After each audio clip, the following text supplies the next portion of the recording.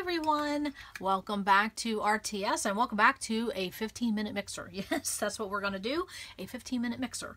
And so what am I working on? I absolutely have a couple of these trays that I have a project in progress that I'm working on and so I need to get a little bit of order to this project because honestly I've just been throwing things in and throwing things in and I need to address it especially this pile of ephemera that I made. Okay so let's get this stopwatch and let's get this party started. Yes so here we go.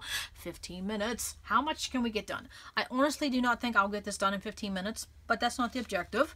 The objective for me is to get started the kick in the butts. Yes.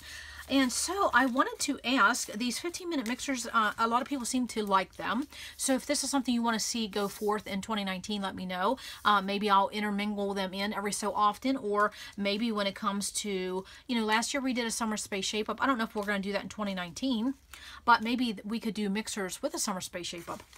Who knows what we could get into. Always open for suggestions, so just let me know uh, if you like these 15-minute mixers and you want to see them continue, because we have a lot coming up. And speaking of a lot coming up right out of the gate in the beginning of the year, we have some things going to start. So uh, ladies, get your game face on. Yes, we are going to get our scrap on. We are going to do a lot of things because I, the more I get involved with things, the more I get done. The more I get done, the more I want to do. Uh, yeah, it's just a continuous cycle. Yes, and so I'm just cleaning all this stuff out, putting it in piles of, you know, category, categorizing it somewhat because I have a huge mess. It's just nothing else but a mess. And honestly, this is probably why I haven't worked on any of these pages, is because this has been a mess and I just didn't want to address it. And so that's my motto. If it's a mess, I don't want to address. And so I have to get out of that. So uh, what was I saying? I have some notes here that I thought we could talk about projects because I'm working on cleaning up a project. And so what I wanted to say was uh, I got asked recently, how do I stay motivated when I'm working on so many projects? Because you can see on the channel that I do a lot of different projects and I'm doing them all the time and then there's some projects I'm working on that you don't even see. So basically, how do I get from burning out or how do I choose what to work on? And so the short answer to that question, and I'm just putting these by color because that's how I need them.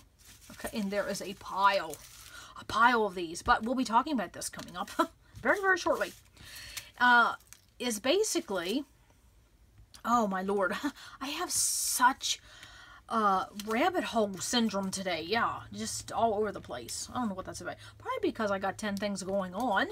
But I love playing with my scrap supplies. yes, it's like a calming effect. yes. That's what it is. Okay, what was I saying? Oh my word. Yes, how do I know or how do I go from project to project? What is my order of things? And so basically in a nutshell, I work on things in three.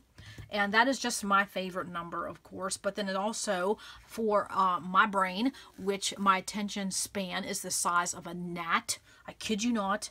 Three seems to work on me. So like I'll do three beach layouts and then maybe three Disney layouts and then maybe three month in review layouts and then other things, you know, like what I have going on in the channel, things like that. So that's what I do. So because there's some things that I'll do uh, in my scrapbooking that I, you know, I don't show on here because of personal reasons. And so, yeah, I'm just always doing something.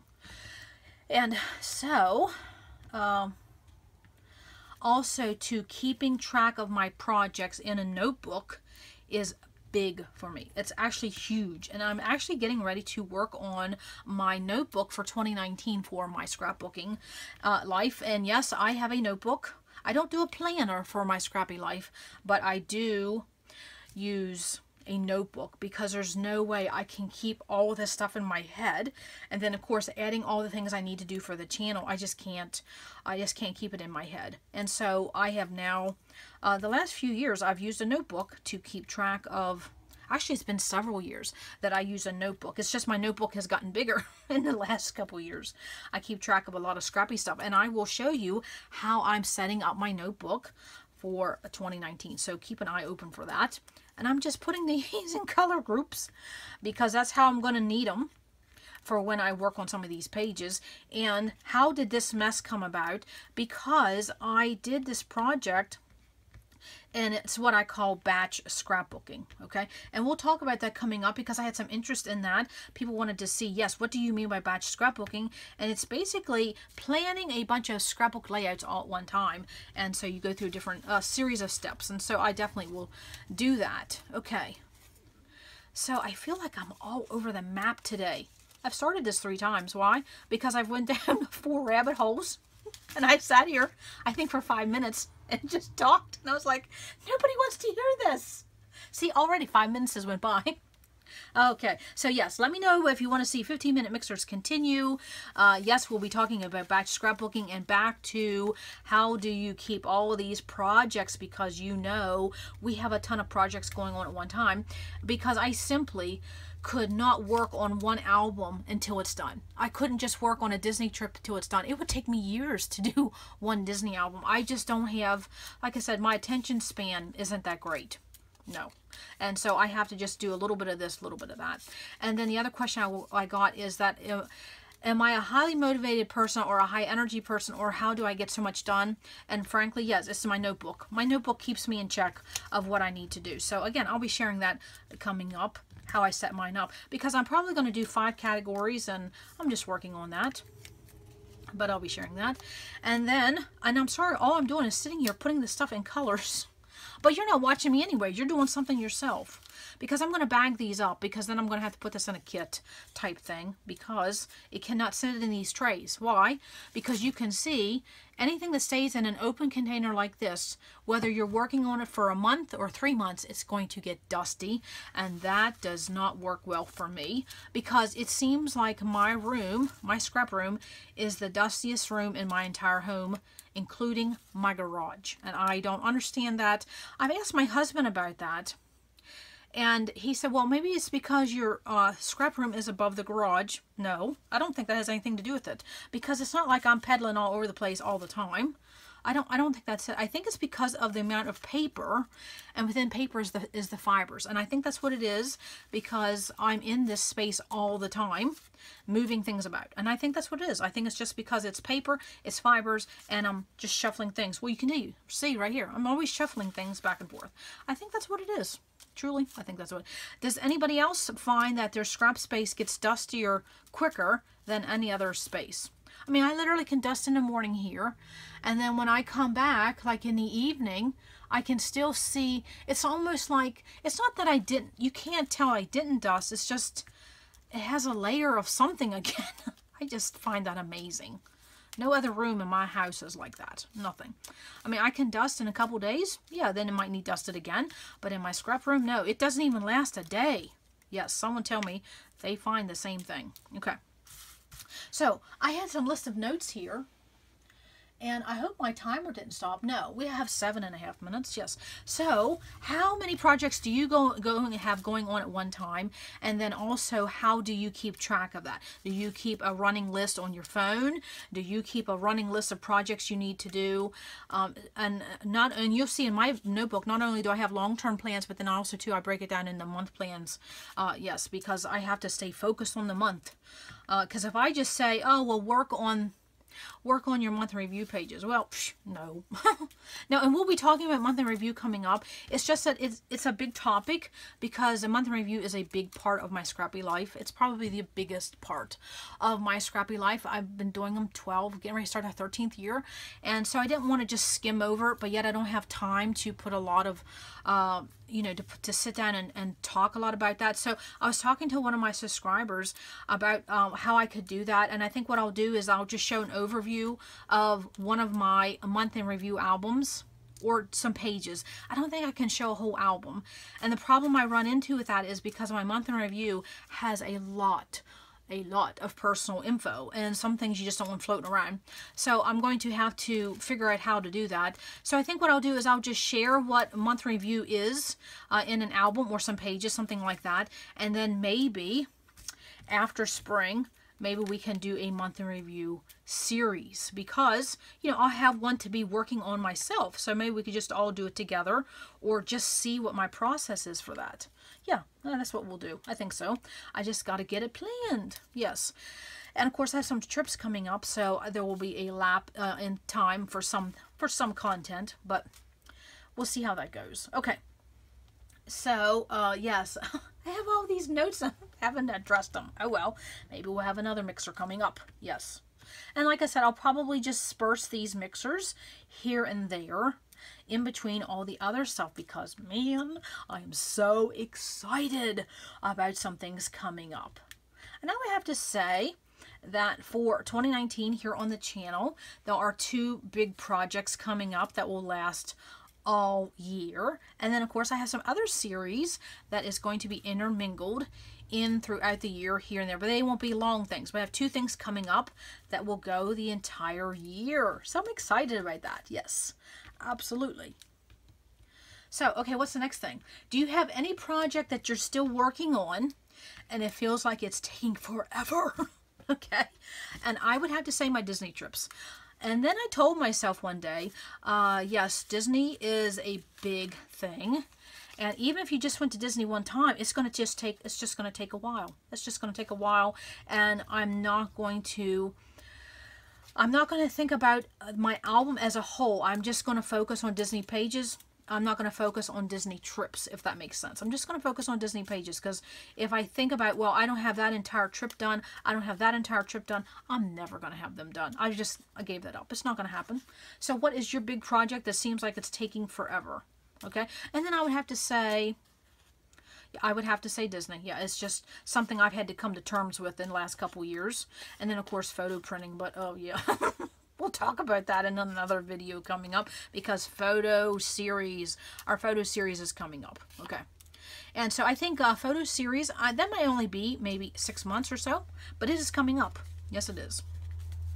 And I am nearing this pile, and can you tell that this album consisted of four colors, okay? And this is entirely about Myrtle Beach. And so it is blue and red and turquoise and orange. And yes, that's what I did. I uh, had four trips in one year uh, to a Myrtle Turtle. And so I separated them in my album by the color of embellishments I used. And of course, I'll try to show that coming up if there's not too much personal stuff. It all depends. Okay, so yes, please tell us what is the album or the project, not just an album, but the project that's taking forever.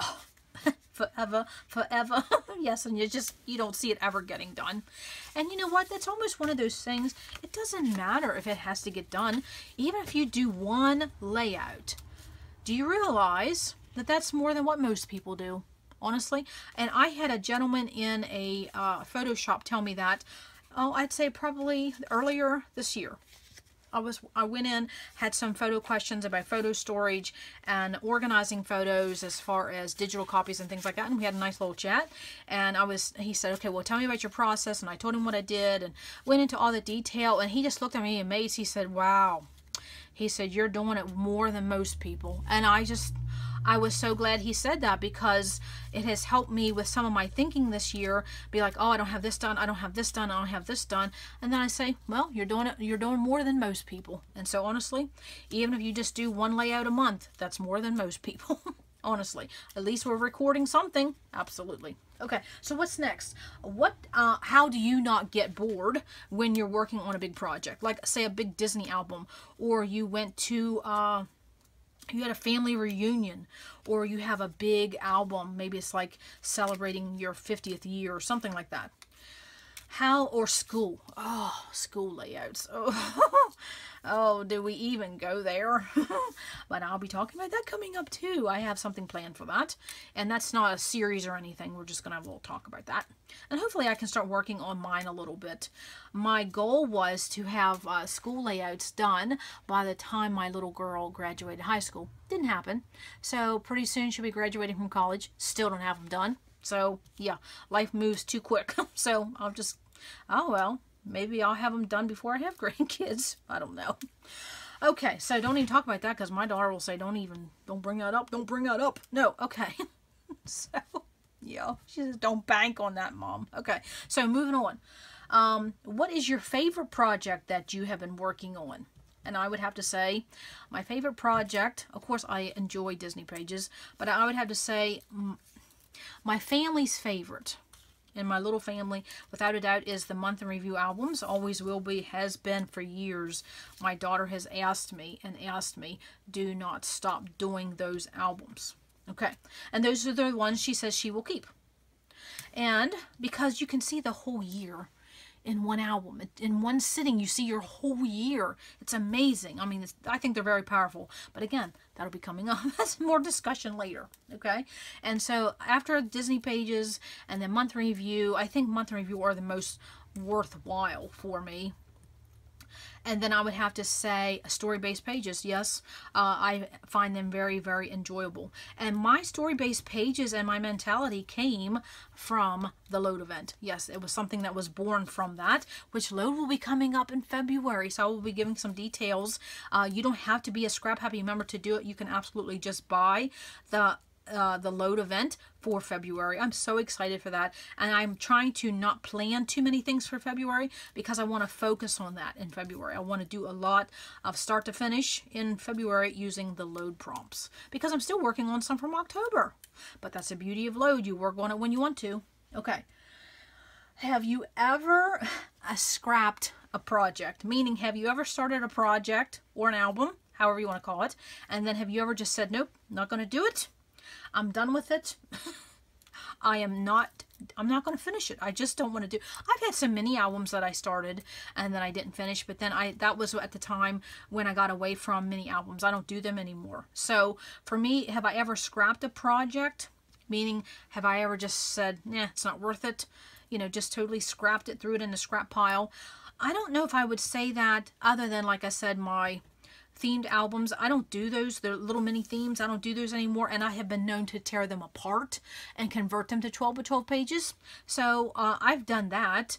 Um, and so I don't know if I've ever just said I'm not going to do it. I probably have just downscaled it. So yeah, you know, you have these big grandiose ideas of what you think you're going to do. And then by the time you're halfway through, you're like, yeah, yeah, you get bored with it. Yeah. And so uh, the school, my school layout, yeah, I got to get back onto that. Okay, so what else do I I'm just talking. I'm so sorry. Well, there we go. oh my goodness, there's the timer. Oh, yes. I was just talking, talking, talking. But yes, we were talking about projects. And I did get that whole pile. Now, see, that's more manageable for my brain. I can breathe. All of these are in by color now. And I will just get some sandwich baggies and put them in.